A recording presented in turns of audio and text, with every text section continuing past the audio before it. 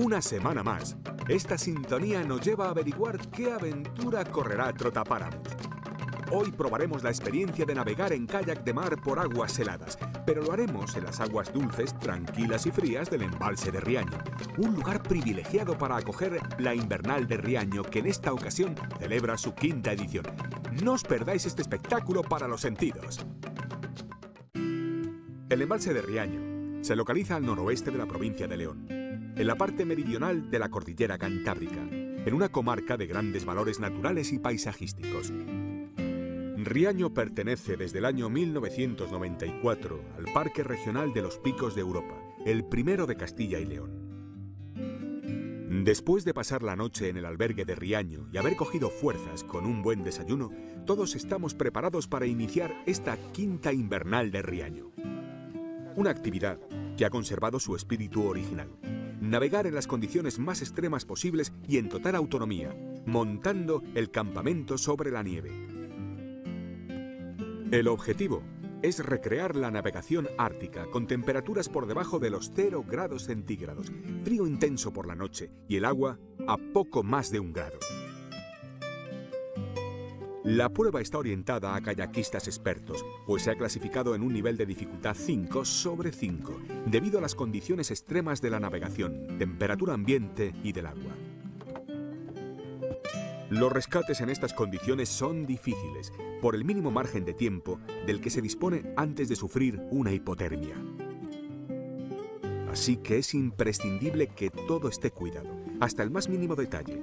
Aquí, el equipamiento es vital y nada debe escapar al olvido, ya que una caída en estas aguas heladas podría ser un grave problema si no se cuenta con los recursos necesarios.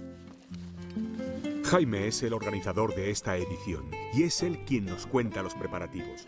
Si no sabéis lo que es un kayak de mar, pues son kayaks cerrados, suelen llevar tres tambuchos de carga y, la historia es que son kayaks que los hacemos herméticos con esto, que es el cubre bañeras. Cerramos, nos metemos dentro e impedimos que entre agua o que nos salgamos nosotros. Y, nada, luego por lo demás llevamos todo el equipo de seguridad general en, el mar, en kayak de mar. Que es, bueno, chaleco, flotador de pala, que esperamos no volcar, palas de recambio, emisoras VHF, cada uno lleva su botiquín, el equipamiento es bastante completo. Los chalecos llevan algunos balizas de señalización. son, más que nada está muy equipado todo para el mar, muy específico de mar, ¿no? Pero, pero para estas actividades así, expediciones en pantano van muy bien. Los canadienses son los más aficionados, expediciones de kayak de mar en pantano, y aquí andamos con eso. Por eso venimos a Riaño todos los años a, a navegar en las condiciones árticas más frías que podamos. Lo que es que este año no hay toda la nieve que queremos. Esta actividad en invierno es una actividad arriesgada no por el nivel técnico de la navegación, que es un pantano, pero aquí lo de volcarse no es una opción. Aquí volcarse es un problema muy gordo, que el agua está a un par de grados como mucho y, y lo de la hipotermia es inminente. Entonces, aparte de la equipación personal de muchísimo abrigo, veréis por ahí algunos compañeros con traje seco íntegro. Eh, yo llevo un traje térmico de, que da mucho calor. Eh, y luego, por supuesto, hoy el día está bastante agradable. Pero lo que esperábamos era otra historia y traíamos gafas de ventisca. Bueno, veníamos preparados para ir a la luna. Y, y eso es el equipamiento personal. Y a nivel del kayak da igual estar en el mar que aquí que, en cualquier lado. El equipamiento es un equipamiento muy básico. Llevamos todos bomba a chique, yo la llevo de pie. Si entrara agua, yo achico con el pie, dentro verás un pedal, si quieres asomar la cámara, y sale por aquí el agua. Eso es una bomba a chique de pie. Entonces cualquier problema que tenga yo entrada de agua, bombeo por ahí. El resto de los compañeros llevan bombas de mano. Y eso es el equipamiento así en general, que es muy parecido al de mar. Aquí lo, lo peculiar pues son este tipo de cosas, ¿no? los, guantes para muchísimo frío, para poder meter la mano en el agua. Todos vamos equipados con mantas hipotérmicas dos o tres, por si hay un problema. Eh, cámaras de foto, por supuesto, porque esto hay que fotografiarlo y vídeo, la de Dios. Agua y luego todo el equipamiento de acampada, claro, porque vamos en, navegamos en autonomía con todo. Tienda, comida eh, y todo, todo el equipamiento necesario para acampar, para acampar en invierno y obligado que todos tenemos caliente, nadie puede traer bocates, esas cosas, porque si no, eso también es un problema de noche. Como vemos, la helada que sigue cayendo a estas horas es importante, aunque tenemos un día despejado y soleado del que seguro disfrutamos en el agua. Esperábamos más nieve y sobre todo hielo en el agua para disfrutar más de la aventura. Pero la verdad es que el paisaje es espectacular y todos esperamos con impaciencia el momento de echarnos al agua. Esto surgió, lo organizó eh, un compañero que este año no ha venido, se llama David Araujo y organizó el primer año la, la en el 2006, esta es la quinta edición. Y, lo organizó conjuntamente con el Club Nordés, que hay por allí el, el que era presidente, lo organizó con montañeros de Pontevedra, lo organizó un montón de gente y decidieron venir. Yo vine por un mail que me mandó alguien y me aficioné tanto que desde entonces casi la... Eh, David organizó los dos años siguientes y yo ya desde entonces ya organicé yo, porque es una actividad que me encanta y todos los años venimos aquí, en busca de la nieve, el frío y este paisaje, claro. Hacemos esto más o menos habitualmente, casi todos los fines de semana, pero en un entorno muy distinto. En el mar, que las temperaturas son diferentes, aunque sea invierno, las temperaturas son más suaves y con otras condiciones. ¿no? Aquí, eh, digamos que las condiciones de navegación no son difíciles, porque no tienes olas, no tienes fuertes corrientes, pero claro, en el mar caes y no pasa nada. Y aquí nuestro principal temor es, ¿sabes? si caes al agua, en, pocos minutos estás con una hipotermia, en pocos minutos, a lo mejor en segundos, ¿no? Y eso es lo que hace, digamos, de esta navegación que sea un poco más difícil que las que hacemos habitualmente. Ahora el entorno es fantástico, o sea que lo compensa. Pues espectacular, tiempo espléndido. Había estado ya anteriormente, pero en verano, pero con estas condiciones de nieve y, y frío está precioso. Llegó el momento de iniciar la aventura. Una vez todos en el agua, una última reunión con información y consejos para que todo esté claro.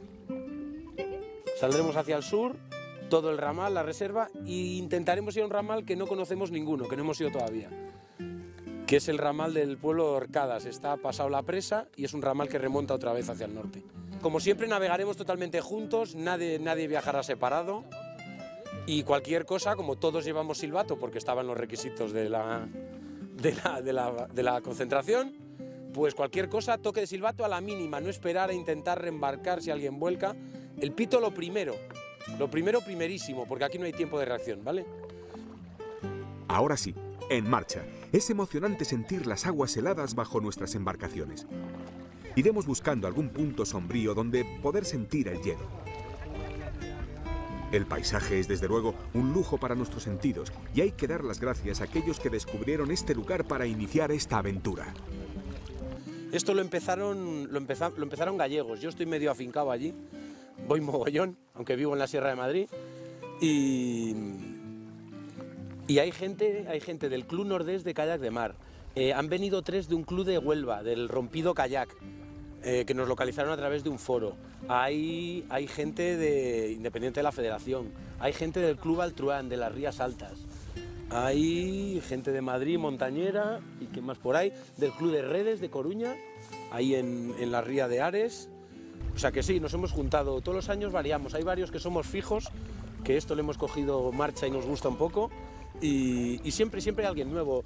Eh, incluso un año vino, vino, gente de Mallorca, concertaron en un avión, alquiler de coche en Madrid, cayeron por aquí en Mallorca, lo pasaron bomba, pero fue un año muy duro. Ese año diluvió, no había nieve y hacía muchísimo frío. Y este año, bueno, no hay la nieve que esperábamos, pero, pero el sol desde luego es espectacular. La temperatura del agua debe estar a 2 grados o 1. El embalse de Riaño es el más grande de todos los embalses construidos por el Estado en la cuenca del Duero. Su capacidad, superior a los 650 millones de metros cúbicos de agua, es suficiente para garantizar el riego de 80.000 hectáreas ubicadas fundamentalmente en la provincia de León. Esta zona fue declarada en 1994 por la Junta de Castilla y León Parque Regional por haberse conservado en ella ecosistemas propios de la región eurosiberiana. El embalse de Riaño tiene más de 100 kilómetros de costa. Paco es el dueño del albergue de Riaño y una de las personas que mejor conocen este entorno. Él nos acompaña en esta aventura para mostrarnos los rincones más bellos. Como veis, estamos acompañando a este grupo de kayakistas, que es la palabra técnica, que nos han vuelto a visitar otra vez. Es el quinto año consecutivo, vienen siempre en el mes de febrero, buscando, lógicamente, condiciones climatológicas duras. Hoy tenemos un día de sol, la nieve ha desaparecido prácticamente hasta cota, aunque tenemos bastante la montaña. Y bueno, por lo menos, aunque no tengan la nieve que ellos querían, a, nivel de pantano, sí van a tener un día bonito. Como veis, eh, vamos a hacer una, ya hemos hecho parte de ella, de la expedición, y ahora vamos a continuar con ellos a otra zona del embalse muy atractiva, que sería el desfilado de Bachende y la zona más eh, recóndita del embalse. Hasta ahora hemos estado prácticamente por zona un poco más urbana, más, más visitada, pero nos vamos a meter enseguida en zona muy salvaje. Eh, a mí me gusta mucho que se hagan estas cosas en nuestro entorno, en el embalse de Riaño, como sabéis, eh, pues es un, lugar en el que cambió la parte sociológica mucho, eh, los pueblos antiguos quedaron bajo el agua y ahora hay un nuevo, un nuevo paisaje, como veis, un paisaje maravilloso. Y esta es una de las actividades para mí reinas de las que se pueden hacer aquí. Hay multitud de actividades relacionadas con la naturaleza que podemos hacer, pero para mí lo que estamos viendo, el kayak, la canoa, las navegaciones en sus distintas modalidades aquí tienen un futuro extraordinario. Eh, a ver si entre todos conseguimos que poquito a poco la gente vaya conociendo esta verdadera joya de naturaleza que tenemos y esta es una de las mejores maneras que conozco. Nos adelantamos navegando con Paco para esperar a los participantes mientras vamos descubriendo los recovecos de este pantano. Rodeando al embalse, podemos otear las alturas del pico Jordas, con 1963 metros, el pico Gilbo, Peña Las Pintas, Cueto Cabrón y la Sierra de Ormas.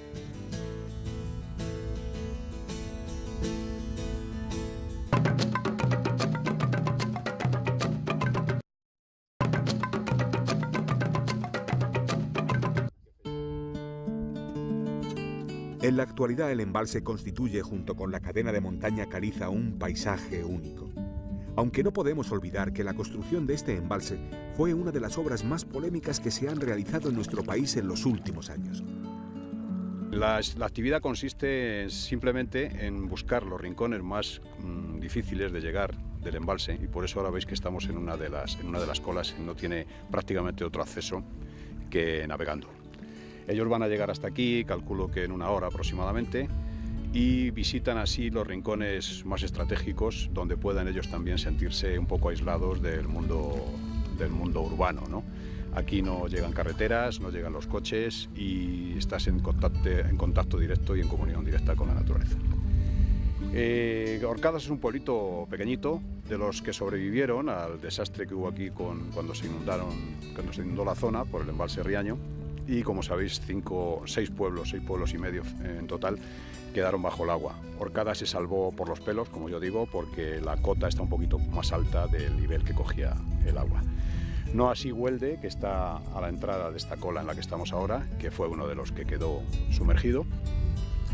Y, eh, y hasta aquí, hasta Orcadas, van a llegar ahora los kayakistas, nos vamos a reunir con ellos y vamos a continuar también nuestra aventura un poquito en comunión con la naturaleza y acompañándolos también.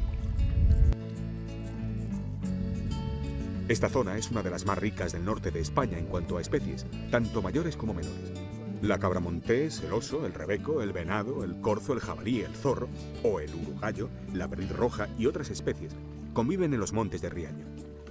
No podemos olvidar que bajo estas aguas también abunda la sabrosísima trucha en su variedad de iris.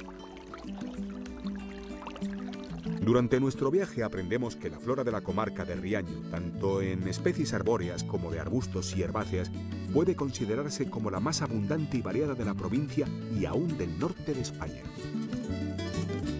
Sus tupidos bosques como el de Ormas o Tendeña, poblados de extensísimas masas de roble y haya, el chopo del país, el abedul, el acebo, la salguera, la escoba, sin olvidar un sinfín de plantas aromáticas que seguro en pocas semanas comienzan a hacerse notar con sus atractivos olores. Llevamos unos 12 kilómetros navegando. Y va siendo hora de reponer fuerzas. Buscaremos un sitio resguardado del viento y que nos permita descansar un rato. Vamos a comer, es que tenemos hambre. ha ido muy bien. Lo, el viento se ha puesto de sur un poquito en contra, pero muy bien, la verdad, muy bonito. Está el día precioso. Vaya, al final hemos encontrado un tesoro helado. Un pequeño charco de hielo que algunos no dudan en abordar. Esta es la verdadera sensación de navegar en kayak de mar sobre aguas heladas. Como veréis, Una de nuestras metas es encontrar hielo y romperlo. Es una navegación muy muy especial. Otros años lo que hemos encontrado es placas enormes por todos los ramales íntegros, ir rompiendo, navegando. Y ahora tenéis ahí abajo un montón de gente que, que está todavía jugando el hielo. Del recuerdo de años que ha sido la bomba. Lo que pasa es que este año, eh, pues nada, hemos encontrado esta puntita y nos hemos tirado como locos con el mono. Pero la verdad es que es una sensación espectacular y el ruido. El ruido si pudierais estar abajo es espectacular cuando se rompe. Junto al grupo y siguiéndoles muy de cerca, viajan dos agentes de la Guardia Civil del Grupo de Actividades Subacuáticas de Castilla y León.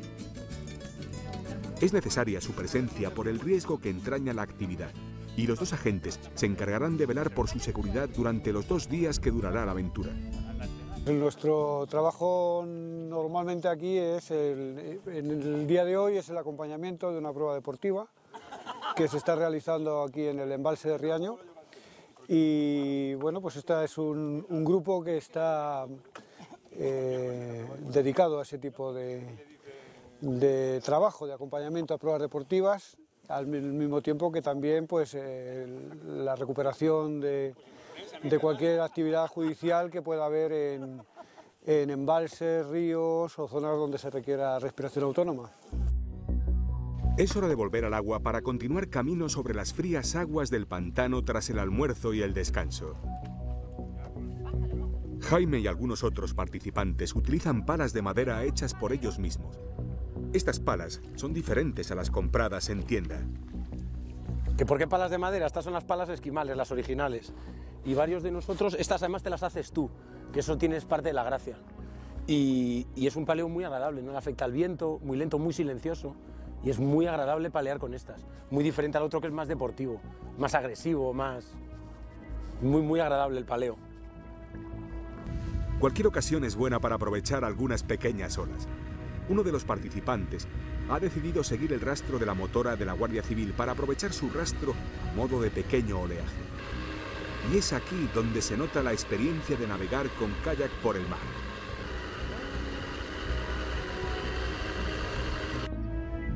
Llegamos al desfiladero de Bachende. De momento todo está saliendo a pedir de boca. El paisaje es espectacular y no ha habido ninguna incidencia. Seguimos disfrutando de nuestro viaje y en la expedición parece que el cansancio no llega. La preparación física es también importante. No es necesario ser un atleta, pero es evidente que hacen falta unos requisitos mínimos. Principalmente fondo, en general se puede entrenar con cualquier otro deporte, ¿no? Cualquier deporte de fondo, brazos y luego no tener ningún problema postural, de espalda, de... porque bueno, aquí hemos parado cada dos horas, pero en el mar pues te puedes tener que estar cuatro o cinco horas paleando sin salir del... Y la posición del cuatro esta, la gente que tiene problemas posturales y eso es un problema, claro. La aventura que hoy estamos viviendo tiene su interés por el valor paisajístico y por lo extremas de las condiciones ambientales. Aunque a este grupo de kayakistas de mar normalmente les podremos ver tras las olas de los mares y océanos que nos rodean. Un deporte en el que no hay edades para practicarlo. Eso sí, es importante tener en cuenta el medio en el que nos movemos. Lo mejor es, eh, por supuesto, ir al mar y, buscar clubs o asociaciones. En Galicia hay mogollón de clubs. Eh, por supuesto está la Asociación Galega de Kayak de Mar, de la que todos somos miembros. Y, allí bueno, impartimos cursos, se organizan jornadas, eh, todo tipo de talleres, eh, conferencias. Y lo mejor es informarse, como cualquier deporte. Empezar por tu propio pie te puede salir bien o no. Y el mar es muy exigente, en el fondo son barcos esto. ¿eh? Y el mar es lo que es. La ventaja del kayak de mar, la ventaja y las ventajas es que es un deporte muy técnico. Entonces las limitaciones físicas son, pero son pocas. Entonces, eh, bueno, tenemos amigos italianos con 70 años que dan la vuelta a Córcega, a Cerdeña. Entonces, claro, hay, hay, un, hay un montón de, de, posibilidades con ese margen de edades. ¿no? Jaime también nos cuenta que este deporte tampoco tiene barreras. Ya hay muchas personas con algún tipo de discapacidad que no han dudado en apuntarse a esta disciplina. En España hay una asociación muy importante que organiza eh, una chica eh, que se llama Carmen Adel, que es catalana, estuvo en la Federación Catalana y, esta tipa organiza directamente travesías, pero no paseos como esto, organiza travesías de un mes en el Báltico por las islas Y yo la conozco, trajo, yo he visto a gente sin piernas. Eh, bueno, el mejor ejemplo es Anchón Arza. Es un tipo que distribuye una marca de kayaks en Pamplona y él hace aguas bravas. Cayó en Venezuela en un salto enorme, no sé los metros, y se partió la espalda. Y sigue haciendo kayak de mar. Sale de la silla y se sube en el kayak. Es un tío fantástico, fantástico, Anchón. Y a nivel invidentes y eso, sinceramente no lo sé. Sospecho que sí. Y para esas cosas están los K2, que en este, este año no ha venido ninguno. En un K2 puedes sentar a cualquier persona, tira para adelante, rema, y tú le guías, le cuentas, él siente. Eh, a ese nivel, desde luego. Así, con buen ambiente y sin percances, ha discurrido esta primera jornada de la invernal de Riaño. Estamos llegando a nuestro destino donde acamparemos y prepararemos todo lo necesario para pasar la noche y mañana continuar nuestra aventura. Ahora toca estirar las piernas, preparar una buena cena calentita y disfrutar de la noche en este paraje tan especial. Yo empecé, la verdad, hace dos años, hace dos años aquí, en este mismo embalse.